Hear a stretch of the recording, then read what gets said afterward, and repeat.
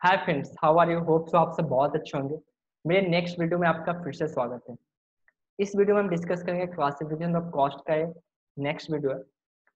तो आज हम डिस्कस करेंगे classification of cost based on the association with the product under this classification cost can be product cost and period cost product cost क्या होता है? Are product cost are those cost which are traceable to a product and are included in a inventory valuation. Product cost are in inventory level cost and they become basis for product pricing and cost plus contracts. Cost plus contract cost plus contract का मतलब होता है ऐसे contracts जहाँ पे selling price आपकी cost में एक सर्टेन परसेंटेज ऑफ़ प्रॉफिट को ऐड किया जाएगा एंड देन कैलकुलेट किया जाएगा ऐसे कॉन्ट्रैक्ट्स होती है मार्केट में They comprises direct material, direct labor, and manufacturing overhead. In case of manufacturing concern, these are used for valuation of inventory and are shown in a balance sheet till they are sold because such costs provide income or benefit only after sale. The product cost of goods sold is transferred to the cost of goods sold account. समझ में आई बात product cost क्या होता है cost of good sold को हम transfer करते हैं तो ये हमारे प्रोडक्ट कॉस्ट के बारे में फ्रीड कॉस्ट क्या होता है? Period cost are incurred on the basis of time such as rent salaries it is this may relate to administration with production and are necessary to generate revenue but can not be assign to a product which are charge to period in which they are incurred and treated as expenses the net income of a concern is influenced by the both product and period cost. Product costs are included in a cost of productions and do not affect income till it is sold. Period costs are charged to period in which these are incurred. देखो period cost just like आपका rent हो गया period cost हो गया जिसको हम product पे directly charge नहीं करते अब सपोज़ फॉर एग्जांपल मैंने एक शॉप रेंट पे ले रखा है अब मैं एस्टिमेट करता हूँ यार, पूरे महीने में कम से कम तो मैं एक हज़ार शर्ट तो मैं बेच ही लूँगा। और मेरी दस हज़ार रेंट है उस शॉप की। तो दस हज़ार को अब कितना क्या टेन रुपीज़ पर शर्ट की आपकी रेंट की कॉस्ट आ गई। अब टेन रुपीज़ पर शर्ट में आप ऐड करते जाओगे रेंट की कॉस्ट समझ में आई? तो अब इस तरीके से आप रेट कॉस्ट को आप चार्ज करते हो product classification of cost for manager decision अब देखो मार्जिनल कॉस्ट क्या होता है। मार्जिनल कॉस्ट को हम बोलते हैं। Marginal cost is total of variable cost that is prime cost plus variable overhead. It is based on the distinction between fixed and variable cost. Fixed costs are ignored and only variable costs are taken into consideration for determining the cost of product and value of work in progress and finished goods. देखो costing के ना दो approach है एक तो marginal approach होता है और एक हम पढ़ेंगे एब्जॉर्प्शन मार्जिनल अप्रोच क्या होता है? हम रेगुलर प्रोडक्ट यूज़ करते हैं, जो हमारा रेगुलर प्रोडक्ट है। जो मैंने आपको ऊपर एग्जांपल दिया शोरूम वाला, ठीक है? वो हमारा एब्जॉर्प्शन का अप्रोच था। मार्जिनल अप्रोच में क्या होता है? मार्जिनल अप्रोच में सिर्फ़ और सिर्फ़ हम वेरिएबल कॉस्ट को कंसिडर करते हैं।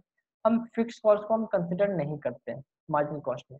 या फिर आप ऐसे बोल सकते हो मार्जिनल कॉस्ट के अंदर कॉस्ट को हम दो पार्ट में हमने डिवाइड कर रखा है, एक तो वेरिएबल कॉस्ट और एक हमारा फिक्स कॉस्ट वेरिएबल कॉस्ट के अंदर क्या क्या आता है?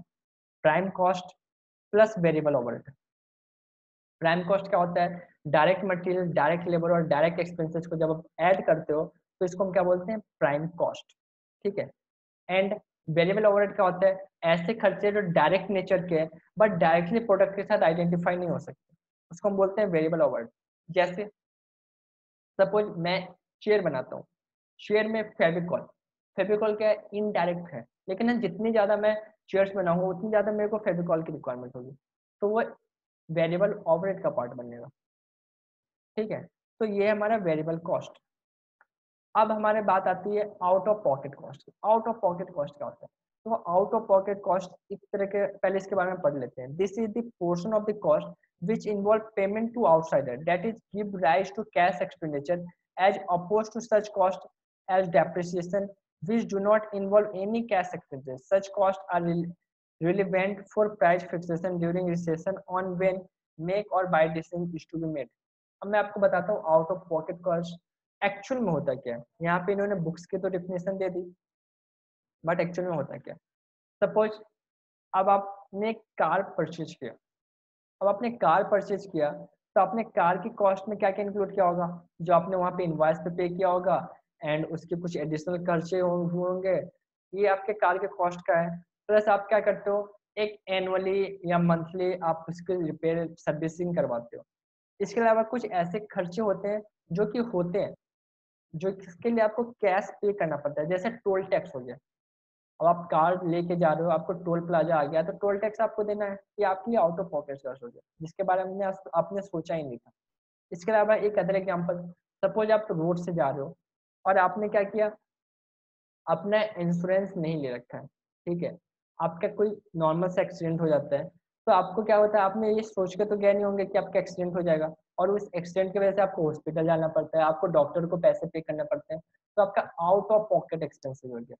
जिसके बारे में आपने सोचा नहीं था, वो खर्चा आपसे हो गया। ठीक है? That is called out of pocket expensive classification of the cost तीसरा क्या है? डिफरेंशियल कॉस्ट डिफरेंशियल कॉस्ट क्या होता है? तो वो डिफरेंशियल कॉस्ट क्या होता है? Change in level of activity level of activity के बदलने की वजह से जो कॉस्ट होता है, उसको हम डिफरेंशियल कॉस्ट बोलते हैं। जैसे, पहले मैं टेन थाउज़ेंड यूनिट बनाता था, अब मैं ट्वेंटी थाउज़ेंड यूनिट बना रहा हूँ।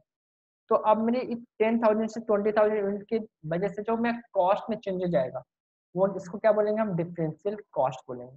जैसे, अब देखो कॉस्ट में दो कंपोनेंट होते हैं, एक तो हमारा वेरिएबल कॉस्ट होता है और एक हमारा फिक्स कॉस्ट होता है। ठीक? तो अब आप देख सकते हो यहाँ पे मैं मान लो वेरिएबल कॉस्ट मेरा टेन थाउज़ेंड यूनिट के लिए टेन थाउज़ेंड था और फिक्स कॉस्ट भी मेरा टेन थाउज़ेंड था। ये मेरा ट्वेंटी थाउज़ेंड हो गया। कॉस्ट पर यूनिट कितना हो गया मेरा? अगर मैं ट्वेंटी थाउज़ेंड को डिवाइड करूँ तो टू रुपीज़ मेरा कॉस्ट पर यूनिट हो गया। ठीक? अब हमने ट्वेंटी थाउज़ेंड बनाया तो ये मेरा ट्वेंटी हो गया और ये मेरा टेन का टेन ही रहा। तो ये मेरा थर्टी थाउज़ेंड हो गया। अब मेरा कॉस्ट पर यूनिट कितना आ जाएगा? थर्टी थाउज़ेंड को अगर हम डिवाइड करेंगे ट्वेंटी थाउज़ेंड से just wait I think one point five के आसपास होना चाहिए। Thirty thousand divide by twenty thousand one point five आया, ठीक है। तो मैं cost per unit one point five हो गया। अब आप देख सकते हो, आपकी कॉस्ट पर यूनिट कम होगी चेंज इन कॉस्ट किसकी वजह से हुआ? Change in level of activity की वजह से हुआ। तो ये जो चेंज इन कॉस्ट आया आपका यहाँ से यहाँ टेन थाउज़ेंड का that is called differential cost तो आप बायर से क्या चार्ज करोगे? ये इसके ऊपर एक प्रॉपर एक चैप्टर है फाइनल पे। वहाँ पे आप इन डिटेल पढ़ना। मैं आपको फिर भी एक आइडिया दे दिया हूँ डिफरेंशियल कॉस्ट के बारे में। सम कॉस्ट क्या होता है? सम कॉस्ट होता है पास्ट कॉस्ट या फिर फ्यूचर कॉस्ट भी हो सकता है, जिसका ऑब्लिगेशन ऑलरेडी डिसाइडेड है। जैसे रेंट रेंट ऑलरेडी डिसाइडेड है, मुझे लास्ट मंथ में मैंने पे किया था, इस मंथ में पे करूँगा, अगले मंथ में पे करूँगा। तो रेंट का कॉस्ट मेरे लिए क्या हो गया? सन कॉस्ट जो मेरे डिसीज़न मेकिंग में हेल्प नहीं करेगा। जब आप फाइनल में आओगे तो वहाँ पे एक रिलेवेंट कॉस्ट का एक चैप्टर है। वहाँ पे आप पढ़ोगे सन कॉस्ट के बारे में। और किस तरीके से डिसीज़न मेकिंग में हम सन कॉस्ट को लेते हैं, कब नहीं लेते सबके बारे में। बट बस आपको यहाँ पे यही जानना है कि सन कॉस्ट एक ऐसा कॉस्ट है, जो पास्ट कॉस्ट है या फिर फ्यूचर कॉस्ट है, जिसका ऑब्लिगेशन ऑलरेडी पास्ट में डिसाइड हो चुका है। जैसे रेंट हो गया आपका, आपने कोई प्लांट एंड मशीन परचेज किया, उसका डेप्रिसिएशन हो गया, कोई रॉ मटेरियल आपके स्टॉक में आ चुका है, वो सब कुछ सन कॉस्ट है। It should be past cost या future cost obligation already decided. Classification of the cost imputed cost और नोशनल कॉस्ट देखो नोशनल कॉस्ट क्या होता है? अब सपोज़ मेरी खुद की बिल्डिंग है। मैंने उसमें खुद का ऑफ़िस लगा लिया। अगर मैं दूसरे की बिल्डिंग लेता तो मुझे रेंट का देना पड़ता। अब मैं रेंट का कॉस्ट मैंने अपने कॉस्ट में दिखा दिया। तो that is called included cost और नोशनल कॉस्ट जिसमें मैं कैश का आउटले नहीं हो रहा, मैं जेब से पैसे जा नहीं रहे बट फिर भी हम उसको दिखा दें इंप्यूटेड कॉस्ट और notional cost have the same meaning कि American equivalent from of the British notional cost as imputed cost this cost are notional in nature and do not involve any cash outlay the charter institute of management accountants London define notional cost as the value of benefit where no actual cost is incurred. Even through such costs do not involve any cash outlay but are taken into consideration while making managerial decisions. Example of such cost are notional rent charges और business premises owned by proprietor वो सारे खर्चे जो notional basis पे होते हैं opportunity cost तो वो अपॉर्चुनिटी कॉस्ट क्या होता है सपोज़ सेम टाइम जैसे सात बजे अब सेम टाइम मान लो मुझे दो जगह से ऑफ़र आया। ठीक? वन पर्सन मुझे टेन थाउज़ेंड पे कर रहा था। ठीक? सेकेंड पर्सन में मुझे ट्वेंटी थाउज़ेंड पे कर रहा था। तो आप किसके पास जाओगे? ये ट्वेंटी थाउज़ेंड वाले के पास। तो मेरे लिए ये कॉस्ट हो गया ट्वेंटी थाउज़ेंड अब सपोज़ मेरे पास एक थर्ड पर्सन है वो भी मुझे सात बजे बोल रहा है कि आप मेरे पास आओ एंड हमारे एक लेक्चर आप लो। तो इससे मैं कितना एक्सपेक्ट करूँगा? एटलीस्ट एटलीस्ट तो मुझे ट्वेंटी चाहिए। क्योंकि मेरा अपॉर्चुनिटी कॉस्ट कितना हुआ? ट्वेंटी थाउज़ेंड देखो अपॉर्चुनिटी कॉस्ट क्या होता है? लास्ट बेस्ट अल्टरनेटिव फॉरगोन का जो आपका कॉस्ट होता है, वो आपके लिए अपॉर्चुनिटी कॉस्ट हुआ। अगर ये पर्सन आपको नाइनटीन थाउज़ेंड देगा, क्या आप जाओगे? नहीं, क्योंकि आपको ट्वेंटी थाउज़ेंड तो ऑलरेडी मिल रहा है। अगर ये पर्सन आपको ट्वेंटी वन देगा तो आप जाओगे डेफिनेटली जाओगे। ट्वेंटी टू देगा तो भी आप जाओगे। ट्वेंटी फाइव देगा तो भी जाओगे। ट्वेंटी देगा तो आप क्या जाओगे? नहीं बिकॉज़ आपको ट्वेंटी तो ऑलरेडी मिल रहा है। तो इसको हम क्या बोलते हैं? अपॉर्चुनिटी कॉस्ट जो आपका लास्ट बेस्ट अल्टरनेटिव था।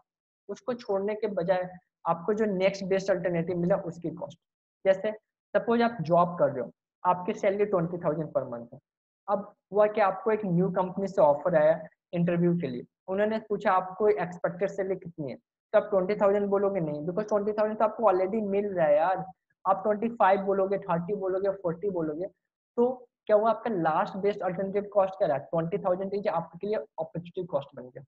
अगर आपने उनको थर्टी थाउज़ेंड का ऑफ़र दिया तो अगर उसको छोड़ के आप किसी और के यहाँ जा रहे हो तो आपकी अपॉर्चुनिटी कॉस्ट कितना हो गया? Thirty thousand replacement cost replacement cost क्या होता है? देखो रिप्लेसमेंट कॉस्ट जो हमारे पास कोई भी फिक्स एसेट होता है आपके यहाँ, उस फिक्स एसेट को चेंज करने का कॉस्ट को रिप्लेसमेंट कॉस्ट बोलते हैं। जब आपको कोई न्यू मशीन लगाना होता है। एवॉइडेबल कॉस्ट और अनएवॉइडेबल देखो एवॉइडेबल कॉस्ट ऐसा होता है जिसको हम अवॉइड कर सकते हैं। अनएवॉइडेबल कॉस्ट ऐसा होता है जिसको आप अवॉइड नहीं कर सकते, ठीक है? जैसे अवॉइडेबल कॉस्ट है, दो बीच कैन बी एलिमिनेटेड, यानी जिसको आप एवॉइड कर सकते हो, जिसको आप खत्म कर सकते हो। इफ़ ए पार्टिकुलर प्रोडक्ट और department with which they are directly related to discontinue for example salary of a clerk employed is a particular department can be eliminated अगर आप उसको हटा दो तो एलिमिनेट हो जाएगा। If is department is discontinue. Unavoidable cost is the cost which will not be eliminated. With the discontinuation of the product of department. For example, salary of factory manager or factory rent cannot be eliminated even if the product is eliminated. तो ये सारी चीज़ें थी आपको मैंने काफ़ी अच्छे से डिस्कस किया आप एक दो बार देखोगे तो आपको चीज़ें याद हो जाएगी बार बार देखोगे तो और ज़्यादा याद हो जाएगी तो होप तो आपको मेरी वीडियोज़ काफ़ी अच्छी लग रही हो